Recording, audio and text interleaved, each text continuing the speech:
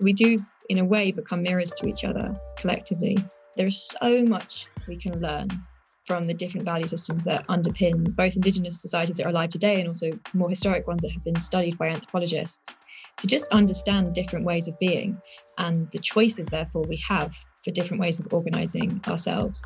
We are in a unique moment in history. If we're willing to kind of listen to one another, then we're able to potentially bring together the best of those different possibilities. Hello, and welcome to this week's episode.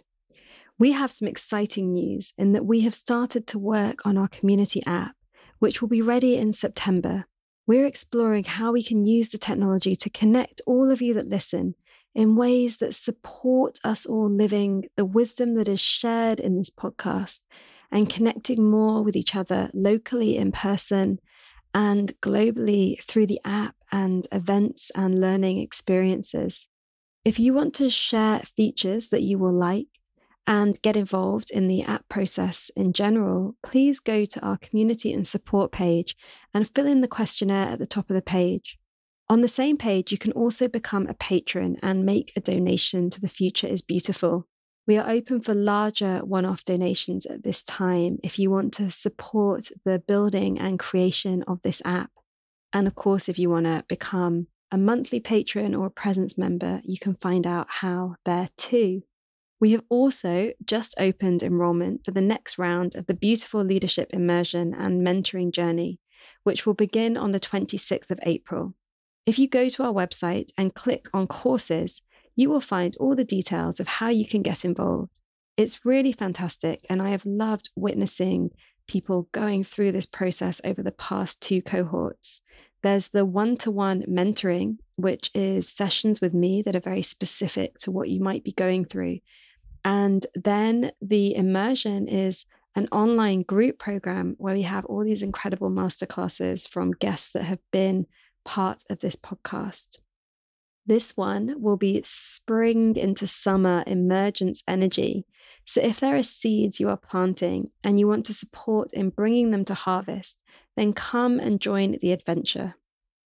This week's guest is Lily Cole, who some of you may know as a model and actress and campaigner. As an advocate for social, political, and environmental issues, Lily Cole has employed technology, writing, filmmaking, and public speaking as means to build awareness and encourage dialogue. Lily was awarded a first class BA in History of Art from Cambridge University in 2011.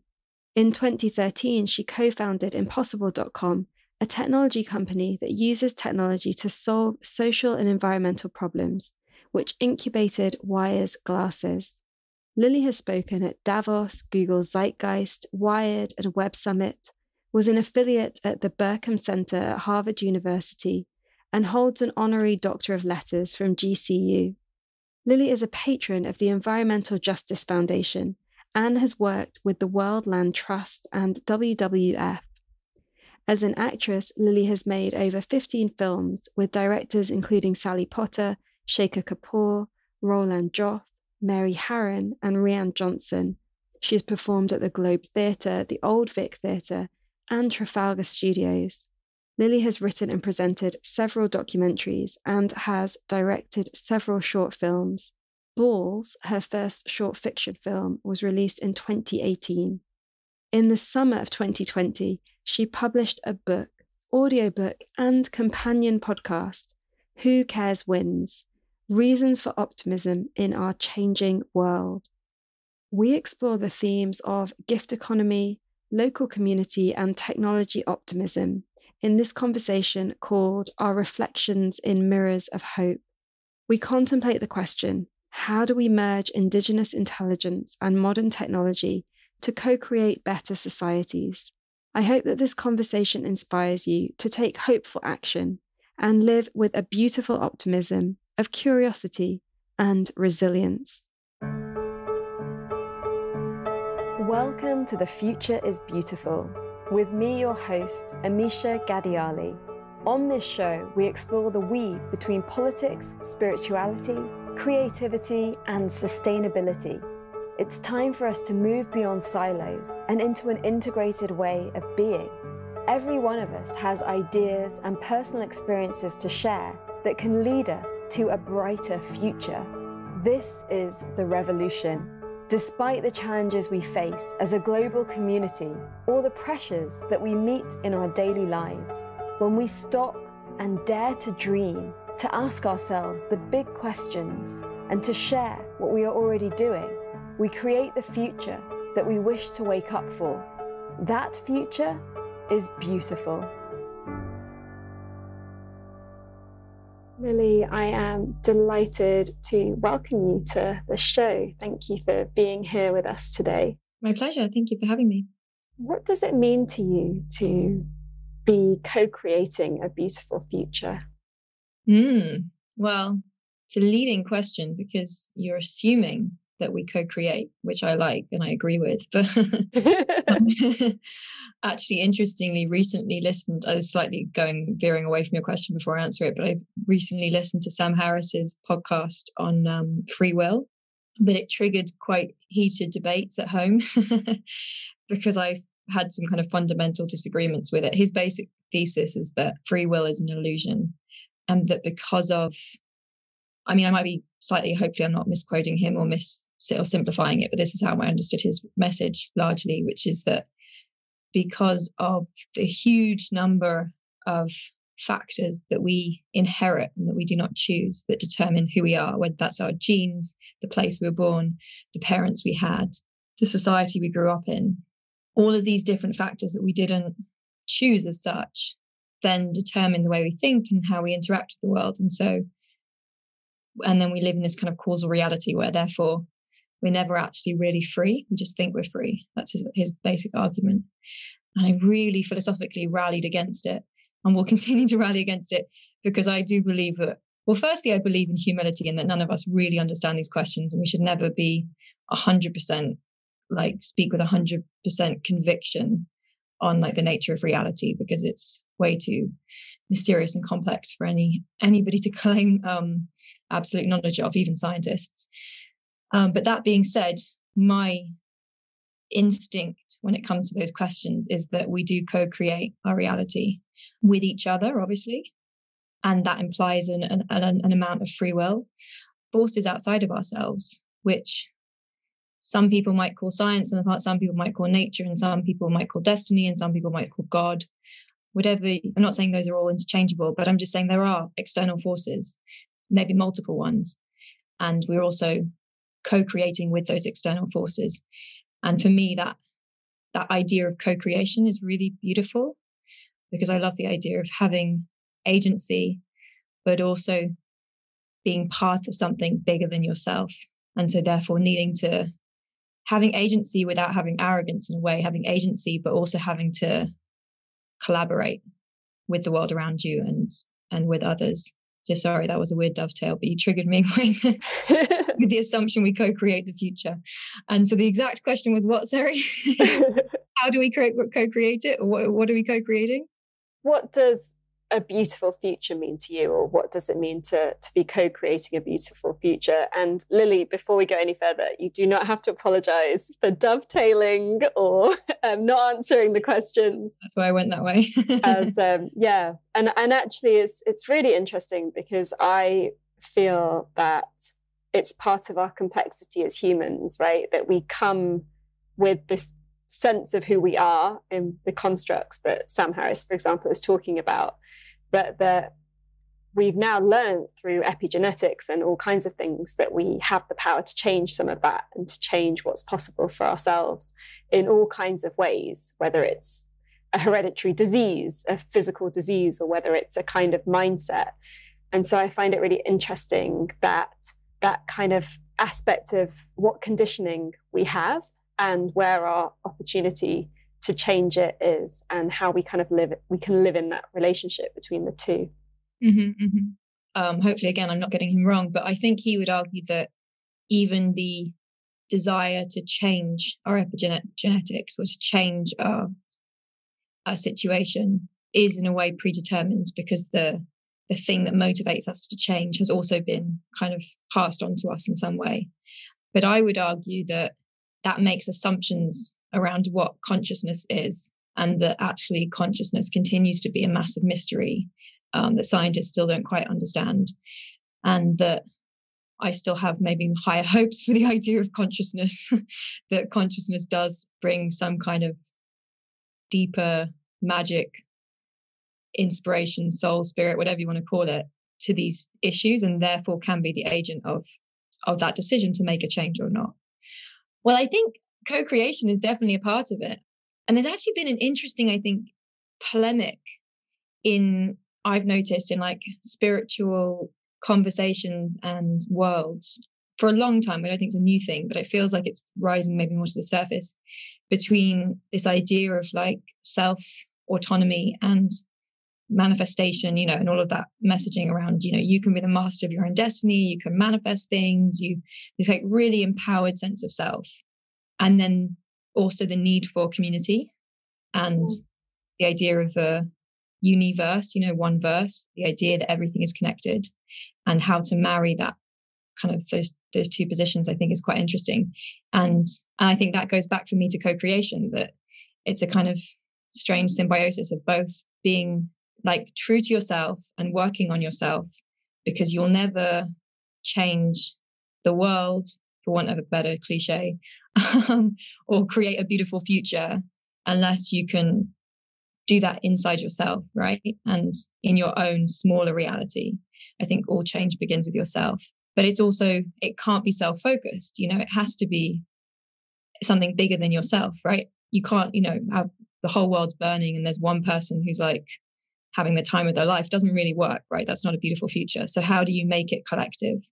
Well, you can't make it collective. I guess you just have to do your piece and hope and listen and build relations and build relationships so that hopefully we can co create the future that I think everyone deep down wants. I'm not saying everyone wants the same future, but I imagine deep down, like really deep, like digging very deep, most people want similar things, right? Happiness, love, a sense of purpose, a sense of meaning, security, a healthy environment to laugh, to spend your time doing things you enjoy, you know, basic things. And so, yeah, if, we all have a similar vision of where we want to go to, can we each do our piece to get there? It's interesting that piece around how human like core values are often the same. That was the the very beginnings of of this project like 10 years ago i started asking people what's the future you choose? and, and getting people to share these visions of the future that they wanted to live in and what was important to them. All those same things that you mentioned come up meaning family like somewhere safe for my grandchildren all of this kind of thing. And then yet we find ourselves in this time of so much polarity in terms of the, the detail and also the situation that we have with climate. I wondered in, in all of your research and, and all the different avenues that you've been exploring, why you think that happens, that that, yeah, we want the same things, right? Nobody wants to live in a burning house. And, and yet what that actually um, creates in the world in terms of polarity and not being able to take collective action. No, it's a really big question that I don't really have the answers to. I think it's a massive mix. I mean, I think there's a lot of legacy, you know, like thousands of years of ways of a kind of of a system and a way that systems were run, kind of, you know, colonial mindsets, capitalist mindsets. You know, it actually interestingly, I was listening to a speaker recently who was saying that basically capitalism is colonialism. It just one transferred into the other over time whether you take it that far, there's definitely connections between them.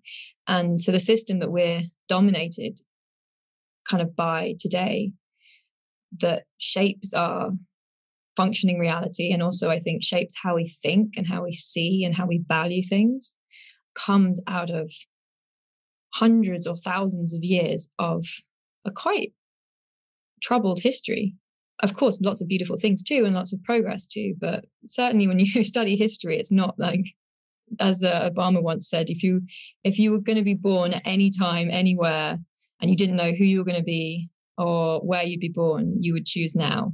I think that's kind of true. Look at history and it's a bit like ah. So yeah i don't think we've like neatly separated ourselves from that history and there is so much about the systems that we are born into and that we grow up in that we assume to be normal that come out of older legacies that I don't think bring out always the best aspects of human nature. So that maybe is is one piece of the puzzle.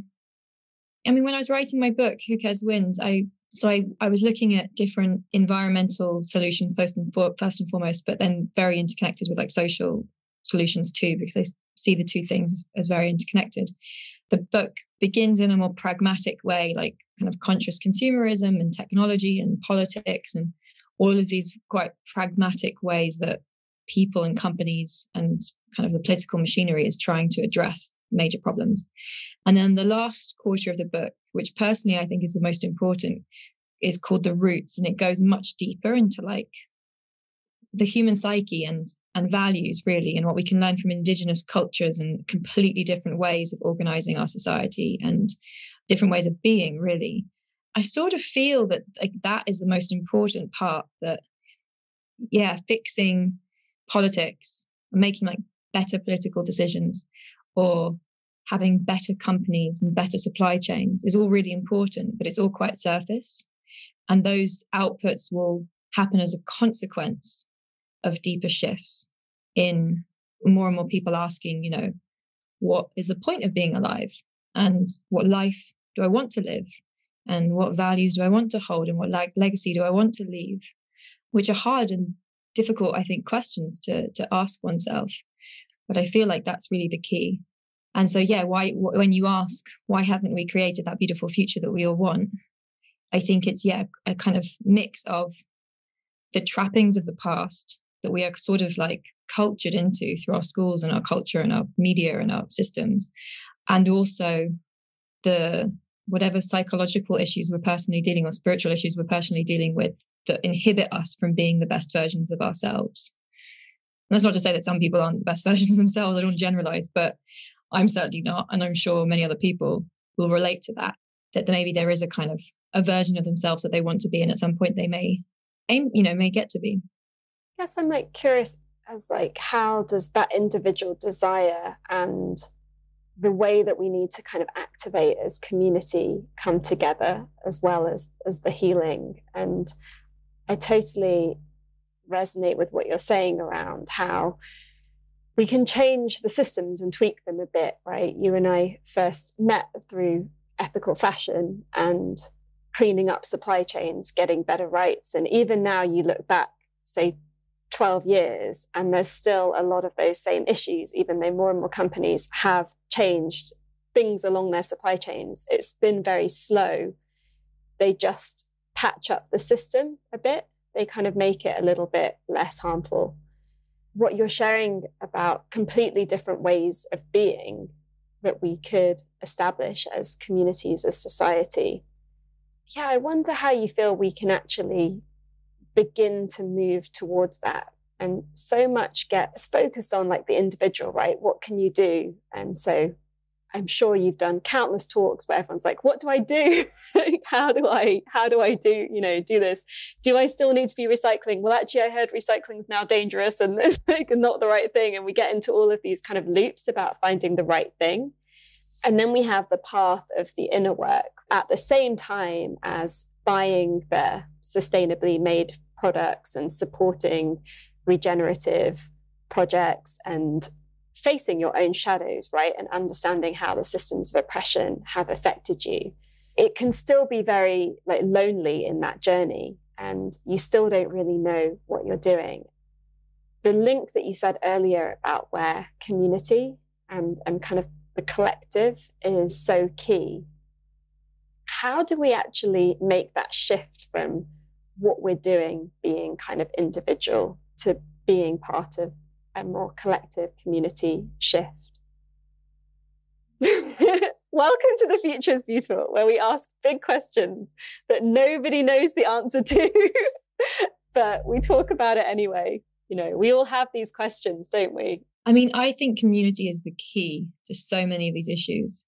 And I spent three or four years of my 20s full time at like full time like 150% dedicated to trying to build a community platform that you know managed to do something it was we got like to 100,000 users it was an online platform that connected people to do favors for one another and the whole point of it was to try and encourage more community, especially in cities. How do you get to know your neighbors?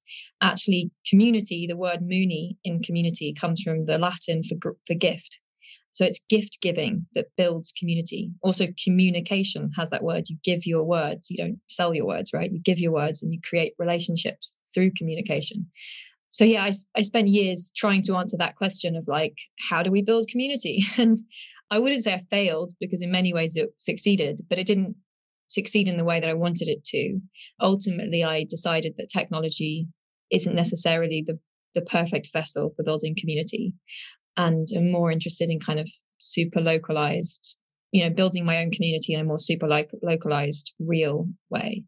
And I think that's possible, but yeah, but maybe challenging. I just read an interesting book called Tribe, which is about uh, very similar kind of questions. The writer was a journalist who covered a lot of wars.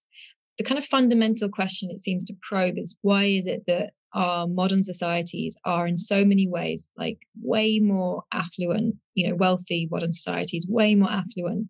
The average person's life is way more affluent and comfortable than our ancestors. And yet there is like higher rates of mental health issues, depression, suicide than almost ever before. And his argument, based largely on his experiences of war and how war creates in a strange way a silver lining of community and solidarity that people miss when they come home. The community and that kind of tribal history that we are part of and then we almost forget we're part of is so core to human happiness and belonging and meaning.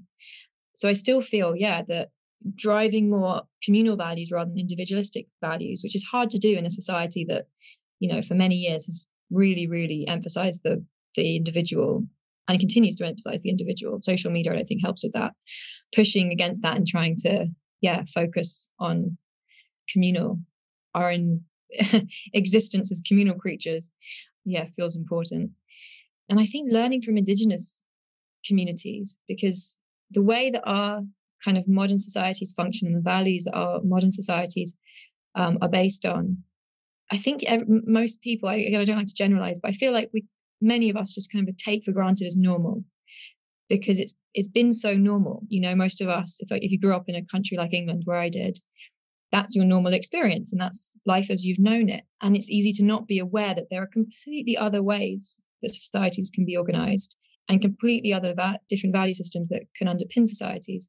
I don't like to romanticize indigenous communities or pretend that they don't have you know their own challenges or issues in the past but i've been privileged enough to spend time with different Indigenous societies.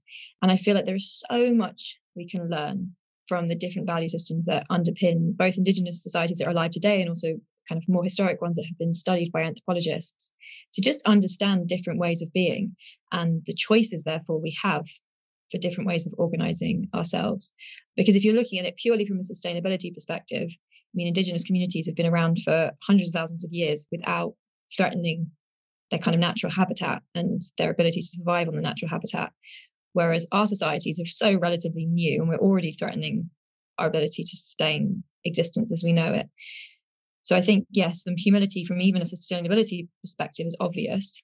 And then we might find that actually we're happier. There's like a pathway to happiness as well through trying to learn from different ways of being. I'll give you an example because I'm speaking very broad terms, but my friend James Suzman, who I write about in my book, uh, he's an anthropologist who's written a few books based on his work uh, with the San, the Bushmen in Botswana region of Africa. He spent over, I don't know, 20, 30 years of his life with those communities and as an anthropologist, lived with them, studied them, written about them. And as an example, they were, you know, nomadic communities historically hunter gatherers or gatherer hunters, as he likes to call them, because he makes the point that actually their diet was predominantly gathering, not hunting. so it makes more sense to emphasize it that way around. So gatherer hunter societies who were nomadic, and it was really um, like waste was discouraged, obviously, because if you're nomadic, you don't want to be carrying around loads of stuff, right? And also there was a way they had a way of what they a practice they call he calls insulting the meat which was a way to try and stop any one individual getting too much power within the group and to try and keep the group egalitarian for the most part.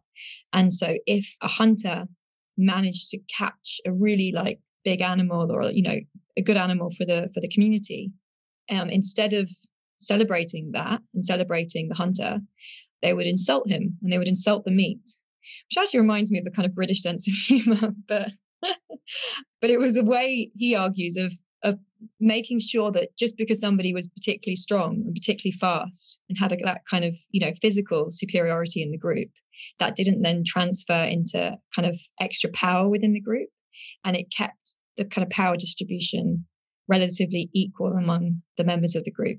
And I just think that's so interesting because if you compare that to our society, where we sort of, in a way, I mean, there is the, I just joked about the British sense of humor that you kind of, you know, you don't like people to rise too high and then you knock them down or whatever. There is that kind of in a tongue in cheek way that goes on. But we're also a society that like glorifies success and glorifies individual kind of affluence and aspiration so that feels very, very different. And and then you ask, well, what are the consequences of that? You know, what are the psychological consequences of us living in a society where it isn't egalitarian and we're all encouraged to almost be competing against each other to try and rise higher, to try and succeed more, to try and have a better, a better share. And even for the people who are winners of that game, does that make us happier? Let alone the many people who'll be losers in that game it's kind of, I guess, the crux of it is like kind of community versus and cooperation versus competition. Which of those forces are the greater? They'll both always both be playing a part, I'm sure, in the functioning of society. But which one do we allow to have greater emphasis? And then what are the consequences of that? Hello. We're taking a short pause from the conversation. On behalf of our team and our community, thank you for being here and co creating The Future is Beautiful. Much dedication, love, and time goes into the production of this show. We believe in being advertising free in a world that's always trying to sell us stuff we don't need. And so we make this show with you and for you, thanks to your support. There are three ways you can be more involved. So we can share the vision, wisdom, and creativity here as we explore what it means to be a human in this time you can support the podcast by sharing it with your friends, posting episodes on social media, and doing iTunes reviews. You can support as a patron by making a monthly or one off donation of your choice. And with this, you join the Global Patrons Group and monthly video calls where we share connection and insight. You get to know the other amazing patrons from around the world, their stories, and their work and you offer direct support to me and the team, as well as being brought into the behind the scenes of creating something like this. It sounds like a lot, but it's as much or as little as you want to get involved in. You can become a member of Presence, our membership collective of care and practice, where we explore how to embody the themes of the podcast with workshops, calls, special events, tree whispers, and powerful tools, practices, and rituals that you can bring into your life. This is open to absolutely everybody as we create an inclusive and diverse space that celebrates well-being as a human right, where we explore together what it means to be creative, courageous, and connected to ourselves, each other, and the earth. This is about embodying sacred activism. We love meeting patrons and presence members and how being part in this way weaves our lives together as well as making this show possible.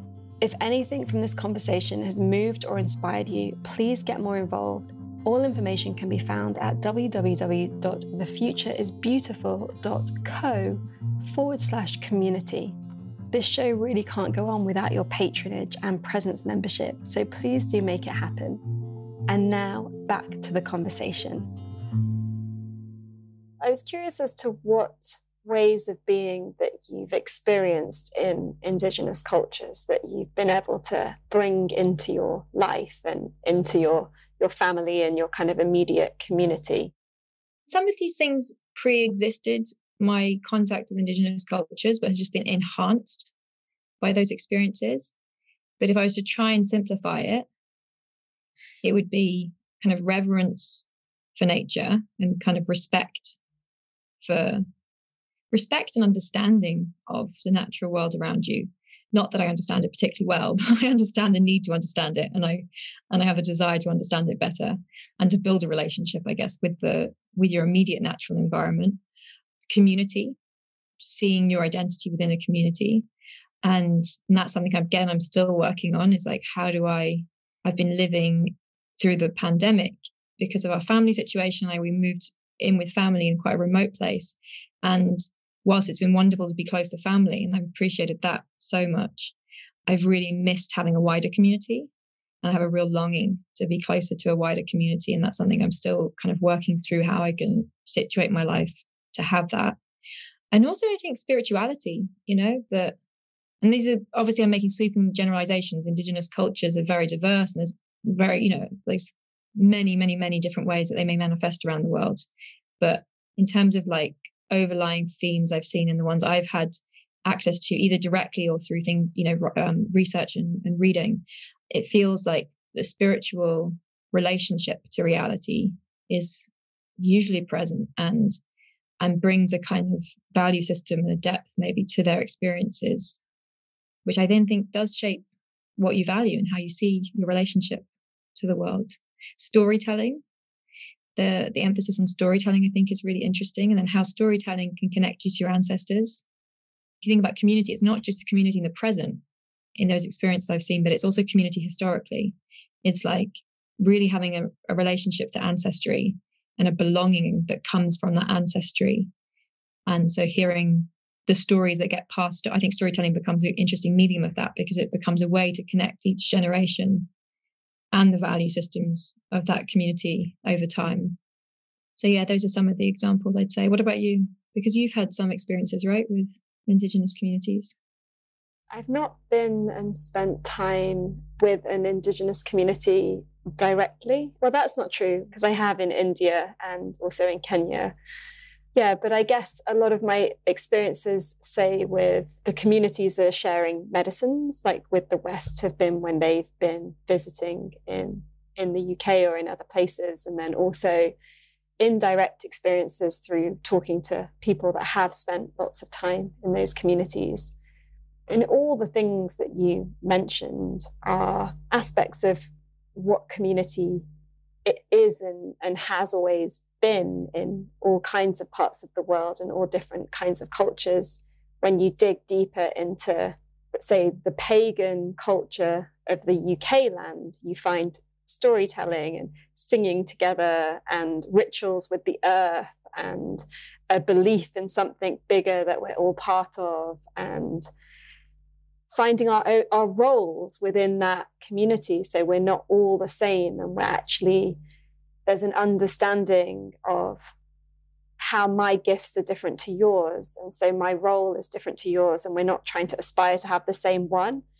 Yeah, I feel like a lot of this is, is part of, of many cultures around the world. And it's just in this Western kind of capitalist version, some of that's got lost and capitalized, right? And then, of course, where religion's at as well has become complex. And then also with immigration, even just my own family of origin and my ancestors, they all told stories and were part of ritual and prayer together. But my parents moved to England. And so we were we were in the middle of Derbyshire without any of that, without access to that regularly.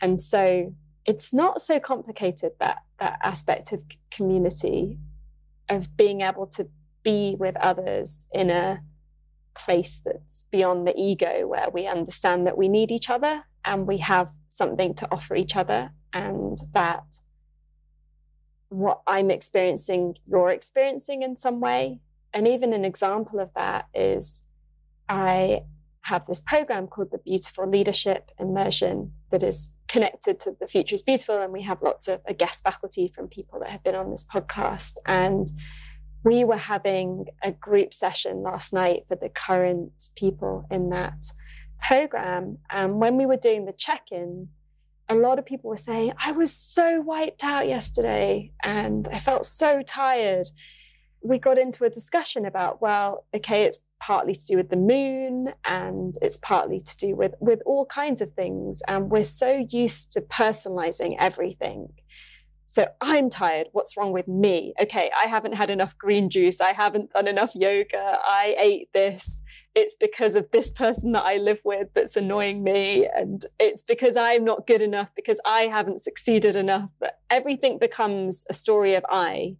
And actually, so many of those waves of even just how we feel are collective. And I find it very powerful when we're able to share that. And when you're all physically together, it's very obvious, right? You can actually see, okay, everyone's everyone's got diarrhea for example okay it's something we all ate you know or it's or everybody's everybody woke up really early this morning like and everyone was up like something with the birds you kind of get these connecting moments but in the ways that we live our lives we often think it's us when it's not. And I feel like something really interesting has happened over this winter that we we don't know what it is yet. And a lot of people that I've been talking to have, for example, shared feeling a lot of fatigue this winter, feeling really not themselves. You know, you can come up with like, okay, well, it's lockdown, it's the pandemic, it's this and it's that. And we don't really know what what's happening in terms of consciousness collectively through this period of the winter and and actually just just here on the beach in Devon where I've I've spent the, this winter in the last day or two people are like hi I've got energy again and you know the spring equinox came something lifted and you're like well that person's got a completely different story career family situation diet and they've also been in that same cycle. And so I feel like that's some of where we miss out with the individual story because we're not able to experience things together. And also with that, experience the cycles. And also in those cycles, there are often people that are at like a different part of the cycle so that they can kind of, you know,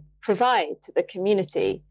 That's something that I've been feeling into a lot how can we create that kind of dynamic in this the situation that we're in which at the moment is very isolated because of of the pandemic well that's the thing that i mean per this whole conversation around the need for community this last year feels like it's just stripped that in an unbelievable way i mean of course there'll be exceptions of people who were living in community before countries went into lockdown. But I think for the vast majority, it's been a very isolating experience. And I was just Googling it the other day, and like the mental health stats are really bad. You know, if people have been really suffering.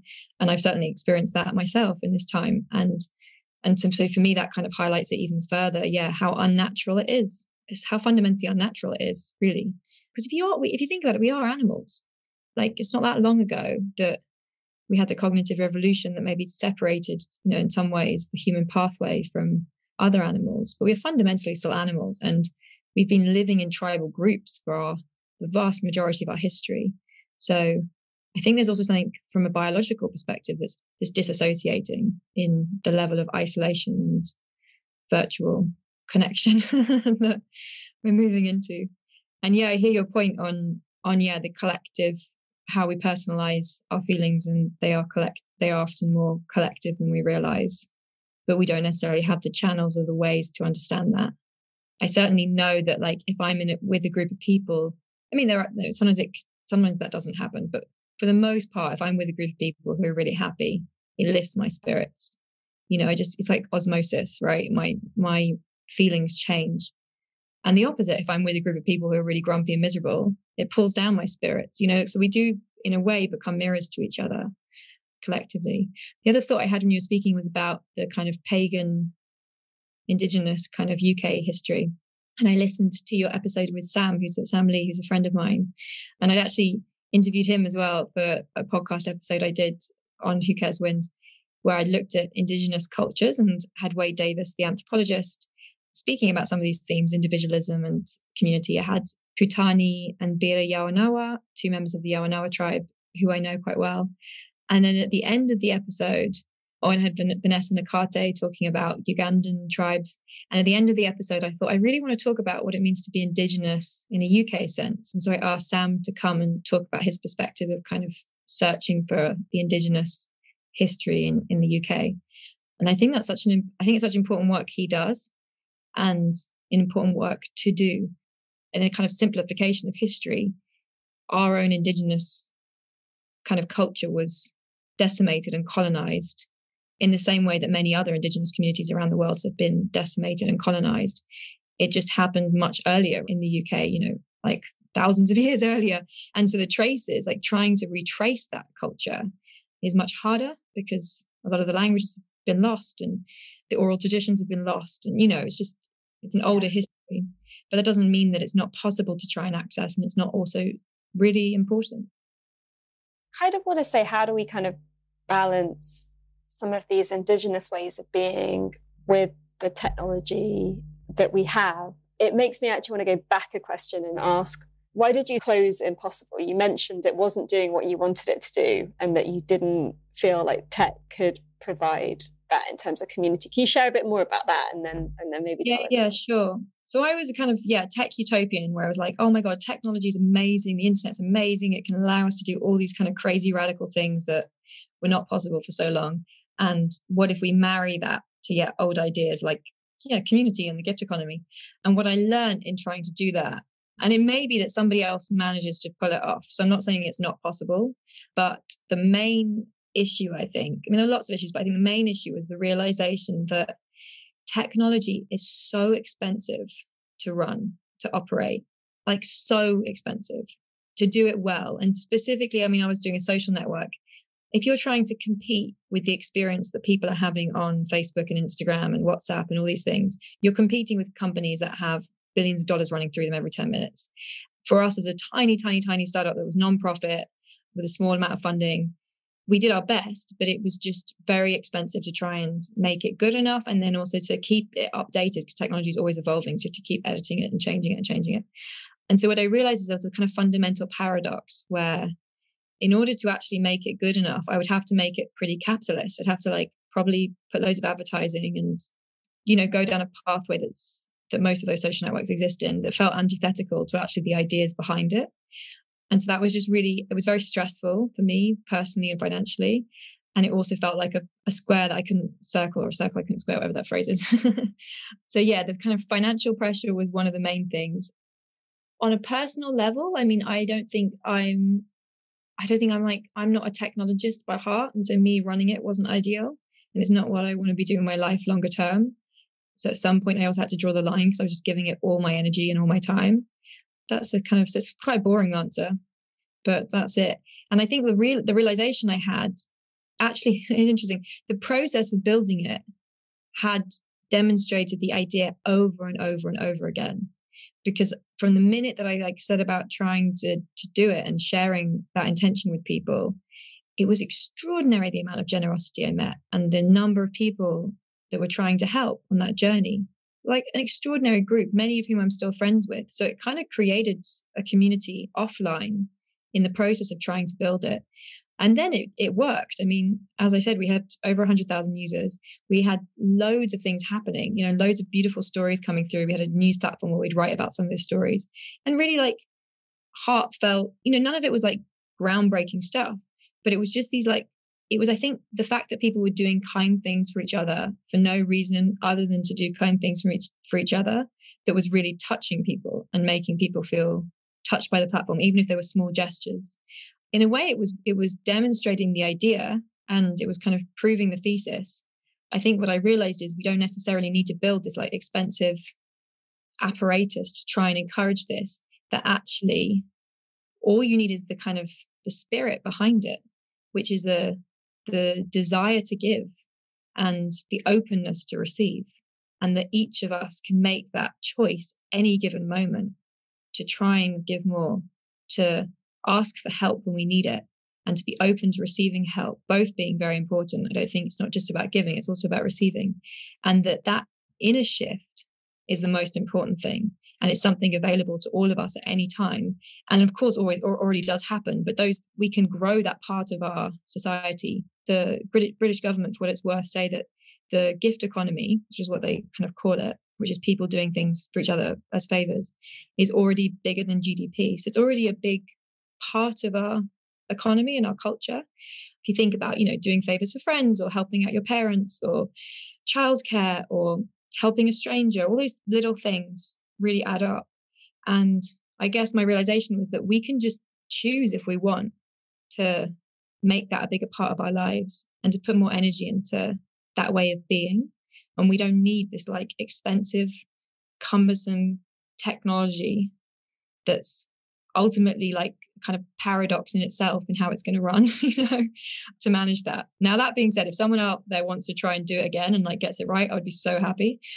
Um, but and there are examples like I mean, Wikipedia. Jimmy was Jimmy from Wales from when Wikipedia was helping me from the early days, and then Wikipedia is an amazing example. It's one of the only examples of like a massive internet success that's not capitalist and that's managed to survive in a non-profit way. So it is possible. It's just, yeah, very I guess unusual we're doing something on very, very small scale just because for me, I mean, this podcast is a gift economy offering to the world. But what I found really interesting is the, the people that have become part of it, you know, the community that exists that listen to to every episode on their runs, that make a cup of tea, that go sit by a tree, you know, that have listened to every single episode and that we've come together on WhatsApp groups and Zoom calls, and people have met and people are collaborating, people are moving in together, you know, lovely things are happening from that space. And so I've been exploring how we can how we can use the technology just to help make that happen just in small ways because something that people often come with is is that they they find something like the future is beautiful or who cares wins and then they find that they don't know a lot of other people in their physical life that are interested in those things. When you have those relationships that are based on the, that real common ground and asking the same questions and wanting to bring the same things into being i feel like that gives us more strength to offer it into maybe our physical communities where you know we might be the one that's kind of going in there saying hi like let's do this let's have a gathering let's share this let's have a, a swishing party for our clothes or like wh- whatever those things are that you can do. And so yeah we're working on that but it's it's not going to be a big expensive technology. No it's beautiful. And that's the thing i've seen so many examples and more and more which is encouraging of people who are making those choices of like just pay me a donation, for example. I've come across that more and more as a I had acupuncture the other day, and the acupuncturist I asked the price, and you said anything up to this price. I've had so many examples. The other day, I helped some, a friend or something, and I traded her a gift in exchange because it was her work. Those examples seem to come up more and more of people just being in that mindset of a little bit more like gift economy spirit, where it's not, yeah, yeah that shift is positive. And, and yes, we have all these technology tools that are great helping to facilitate, but I wasn't in the position to design one around it. And actually, I think that the idea itself is too big for one technology to try and cover. You know that actually it's it's ma- it's better if it just manifests organically in a million or billion or trillion different strange and grassroots ways. Whether that's somebody yeah, finding your podcast and then meeting someone else and then creating community through that connection. It's in the kind of grassroots ways that it should manifest rather than a top down approach of like one system. Yeah, absolutely. Um, and then in terms of your other question, balancing indigenous values with kind of modern tech and modern development, I think it's a really important question. And I think that that's the extraordinary opportunity that we have right now.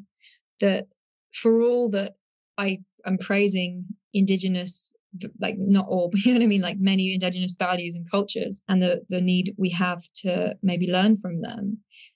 There's no denying that there have been extraordinary positive benefits and outcomes from kind of modern societies uh, whether that's technology or healthcare or you know there's a kind of long long list you could give or political structures of how many amazing things our societies have achieved through a very different mindset. And the combination of those possibilities, I think, is is the moment we're in now that's so exciting. I was in Portugal when the Yawanawa, who I mentioned earlier, so um, Bira and Putani came for the first time here from where they live in in Acre in Brazil. And um, I write a little bit in the book about that conversation, some other ones I've had with them.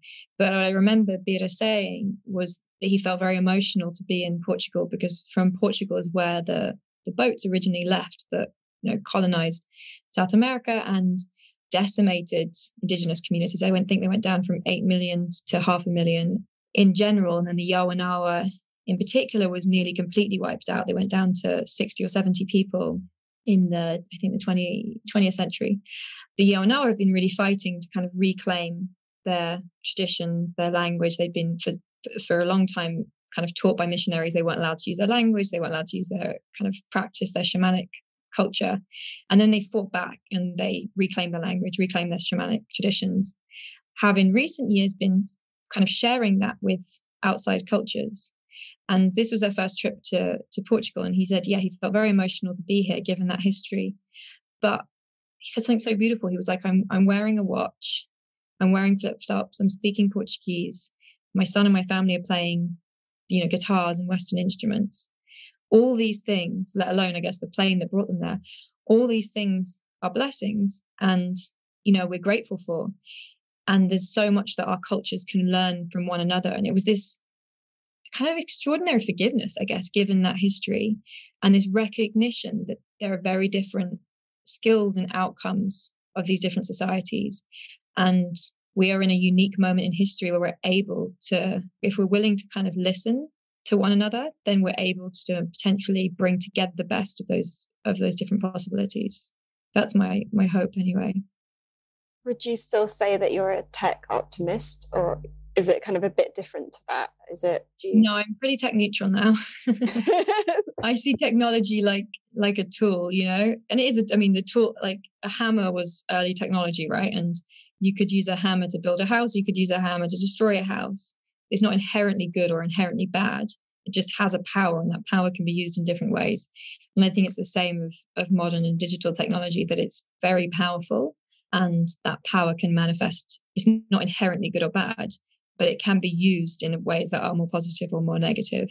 I think I'm slightly more cynical in a way because it feels like so much of technology now is money based, such a big business, and the motivations behind it, I find maybe compromise what the original vision of the internet was when Sir Tim Berners Lee gave away kind of the code for the original internet 30, I think 33 years ago, uh, 32 years ago yeah, so I'm I'm slightly more cynical maybe now than I was 10 years ago, but I still think, you know, that we have to also appreciate the extraordinary things that are afforded to us through technology, like us being able to have this conversation right now is, you know, and a positive. The fact that I can stay in touch with friends and family around the world is a huge positive.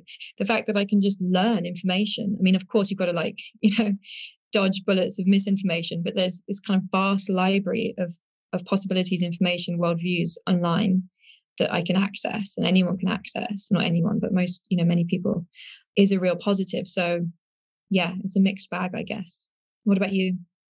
I would agree with what you say. I mean, definitely when we look at the tech world now, I mean, we can see it's not being utilized in the most fair, community minded way. The inequality, the power, the focus on selling us stuff that we don't need, you know, even just the experience of the beginnings of Facebook, like, oh, yay, I can like see what my relatives around the world are doing. And now it's like, oh, I can be sold things constantly. And my friends don't even see my posts. It's it's a whole different, a different experience. I have two thoughts on that. One is that it needs better regulation, you know, that sure. Yeah, that that's a big part of the problem that most of the technology companies are just massive monopolies. It's kind of extraordinary they've been able to become these massive monopolies. I think Facebook control 80% of social media content online, roughly. Amazon control the vast majority of servers, I think. Google control the vast majority of searches. You know, they're monopolized basically. Yeah. And in most industries, there are regulations and rules that stop any one company from having that much power. And there have been, I think, more and more kind of political efforts gaining traction in recent years to try and change that and challenge that, which I think is positive. And then the thing I think that personally we can all do is actually just recognize that nothing is free, contrary to my whole gift economy.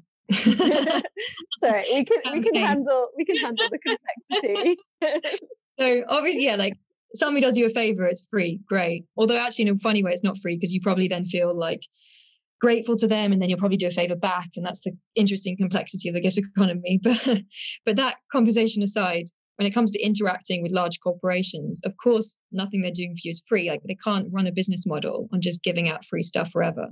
Yet our experience of many of these platforms is completely free. I'm thinking of like social media and search. We don't, most people are not paying for those services. And then you really have to wonder how you are paying and be mindful of the fact that you are paying, but just maybe not with your money. You'll be paying with your clicks and your attention and your engagement and your time. Applying then the kind of logic of conscious consumerism to technology, I think is really important. That it's a different type of consumerism. It's not going to a shop and deciding to buy A rather than B, but it's recognizing that your your actual engagement and your time is a currency and how much do you want to spend it on those platforms? Because they'll they will definitely encourage you to spend as much as you possibly can. Um, they're incredibly addictive. They manipulate you to spend as much time as i mean they're designed by very very intelligent people to try and make them as addictive as possible. That's the truth. And for me personally i've definitely found myself to become at times addicted to some of those platforms and had to like really try and mediate my relationship to them Okay, so I have a, a, a finalish question, and of course, it's a big one, um, which is you've been exploring climate and what's happening in this world for a long time, like at least 12 years that I know of, and I'm sure most of your life, right? Um, especially if Sam Harris is right and we just are who we are. and and even the process of writing this book, Who Cares Wins, you've been writing this over a, a number of years and you're doing a lot of deep research. Within this context of mass extinction and what we know about the climate science and what we know we don't really understand, you know, what we know might actually be worse than, than we can measure. And with how slow we are to act. And yeah the disappointment of seeing how fast we can act for this pandemic for example and many of us have been hoping for something even just 5% of this in in relation to climate for many many years. And that even at the start of this pandemic a lot of us environmental minded people were saying yes this is great. This is our time. And then it's like, oh, okay, no, climate's been pushed off the agenda because there isn't space for it actually with everything that's happening with the pandemic. And so, my question is within all of that, uh, how do you manage on a on a kind of personal level with knowing all of that and staying engaged and active? Yeah, and hopeful and optimistic. Yeah, I mean, it oscillates. I'm more hopeful some days than others and I'm more engaged some days than others. I think writing the book was really difficult in some ways because, I mean, at times it was very inspiring because I was researching and meeting extraordinary people and projects that gave me a lot of hope for sure. But there was also quite a few times where I was brought to tears because when you really truly dig into like the science and the data and the climate science and the, the statistics and just the truth, the reality around where we're at, it's really hard hitting. I'd say most days of my life, I just don't engage on that on that level of truth. I actually, my last podcast episode was uh, called "How Much Should We Care," and it was kind of exploring this question of cognitive dissonance, kind of making the argument that most of us are in a kind of perpetual state of cognitive dissonance between the reality and what we allow ourselves to believe, i.e., we say we believe in climate change. We might post about petitions or, you know, like sign them or go on marches, whatever, but we don't truly, deeply believe it. Because if we truly, deeply believe the information, it's just too earth shattering. It's too difficult, you know? So we kind of have to kind of exist in this state of like denial, really, that everything's going to be okay. And yeah, I can still get on with my job and date people and go on holiday and like all these other things that we entertain maybe our lives with despite the fact that there's this like fundamental existential threat underneath our very existence. So I think I'm definitely in that state of cognitive dissonance most of the time. Just, I guess, being present to my personal reality in a way helps. I think the other thing that's helped is taking small actions. And I always feel wary saying that because I don't want to imply in any way that I'm perfect because I'm far from it. I'm a, full of contradictions, just like anybody is, and most environmentalists I know are too. But that being said, I do have tried to make changes to my life and my lifestyle and my choices, and I continue to to try and make better choices and to try and make ones that feel more aligned with the information that I am aware of and what feels truthful inside. And as over time, and I'm still on that journey, but as I've become, I guess, more aligned with my kind of inner understanding and my outer actions, it's also, I think, helped me because I have the maybe a bit more peace that at least I don't have to feel like so hypocritical and guilty on the mix of everything else, you know, like I'm doing what I can in my own small world. And I also do think that humans are extraordinary and we've achieved extraordinary things, and that this challenge is not insurmountable. And there's been in the last 15 or so years that I've been working in the sustainable fashion, environmental, all those different kind of spaces, technology spaces, the level of change I've seen is extraordinary. Like, it's not to say it's enough, as you said earlier, like sustainable fashion may have grown in a huge amount, but it hasn't like fixed itself yet. There's still a long way to go. But just the fact that these concerns and these conversations and some of the ideas that felt incredibly niche 10 years ago mm. are now like in the FT every day and feeling super mainstream and dominant in the kind of political, economic conversations, let alone the kind of consciousness, individual, collect, you know, community conversations, is really, really encouraging. So I take hope from that that we can co create a better future. and with that, as a final question, we're we just started this last week offering a call to action at the end so that as well as you know just the the shifts in perspective and that sense of community that comes from having this conversation uh, all our friends listening can actually click on something and whether it's donate to something or support something sign a petition what is it that you'd like our friends here to do and action or a click it's a call to action but it's something that, that they can kind of click and, and kind of do claire last week she did an inner one and an outer one. So obviously the inner one isn't a clickable thing. so you can have two. Well, the, the main one that comes to mind, it's not very clickable, although there's a book I could suggest that is clickable and that you could read if you need to learn more or be persuaded, is that if you care about kind of sustainability in these conversations, and I feel I always hate saying it because it just feels so like boring and preachy and like, uh, but it's just true is reducing the amount of animal product we eat and use. And that's something that everyone can act on because we make those choices three times a day usually.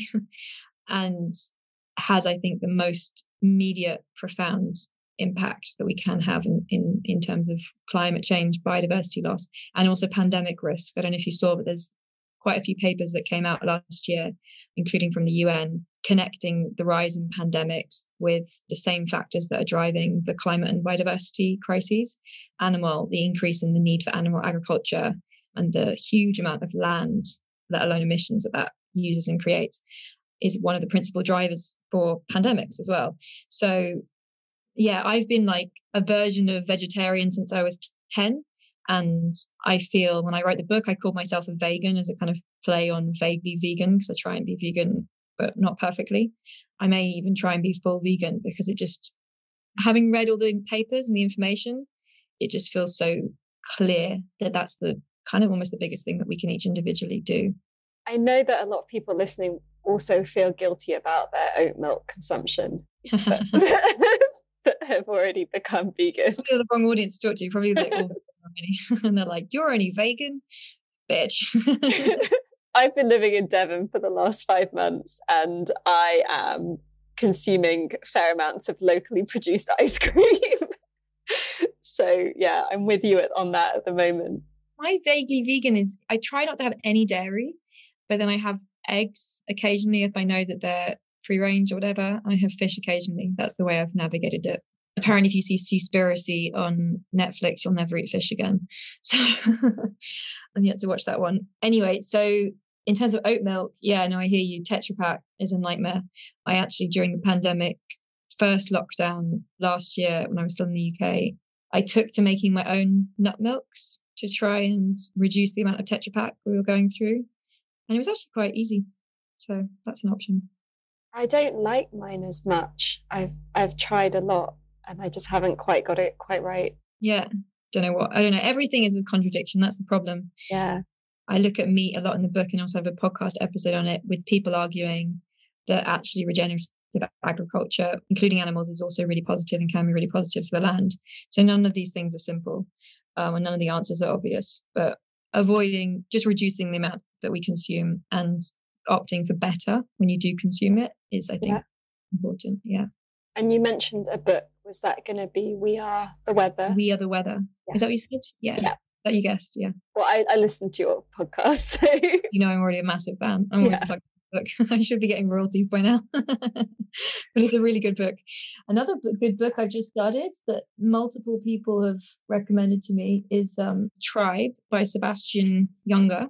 I just started reading and I'm loving a book called The Overstory by Richard Powers. Have you read that yet? I haven't, no. And I've been told about it now by three or four different people. It won the Pulitzer Prize. It's a novel, but it's very environmental and it's just so beautifully written. I'm only, I mean, I sh- shouldn't be so confident in my recommendation. I'm on page 15, but I love it so far. Excellent. And did you want to add anything else to your call to action?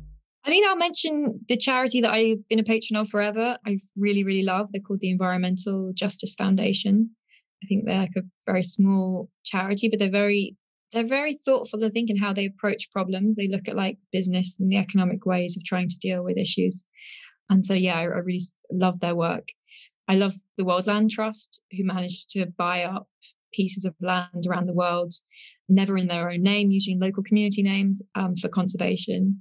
And I've more recently been supporting a charity called Climeworks, who are very interesting. They're taking carbon dioxide out of the atmosphere and putting it underground in Iceland in basalt stones. So yeah, it's called direct air capture. So it's a, for me, it's a more interesting way of offsetting. For example, if I travel, it feels like a good good way to try and offset that. Beautiful. And how can everyone connect with you more deeply of course, buying your book My and listening to your podcast. hire you for a cup of tea. Was that? No, not hire me. Oh can you imagine? I said, come over for a cup of come tea. Come over for a cup of tea. Yeah. Um, yeah. Who Cares Wins is my podcast. It's free. The book is not free, but it's also called Who Cares Wins and on my website, lilycole.com. I may, I was thinking about starting a newsletter. I might start a newsletter at some point.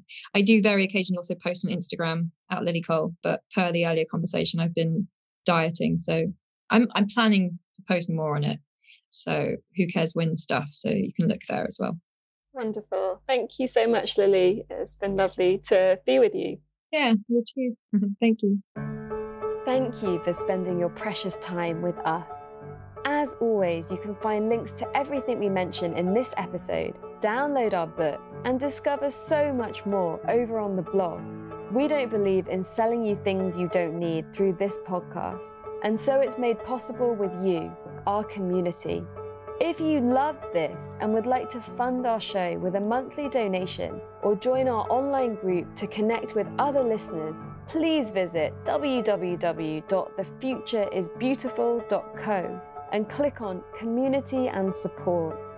Please also share with friends, hit subscribe, and leave us a review so we can grow. Those gold stars really help others find us so these ideas can spread. Here is to us, creating a beautiful future together. The Future is Beautiful is made by an all female team working voluntarily or on reduced rates until our listener support grows. If you have been moved by anything you heard here, please donate the equivalent of buying us a drink. All donations make a huge difference to us and will allow us to keep doing this and remain advertising free. Until next time, I leave you with this question How will you create beauty in the world?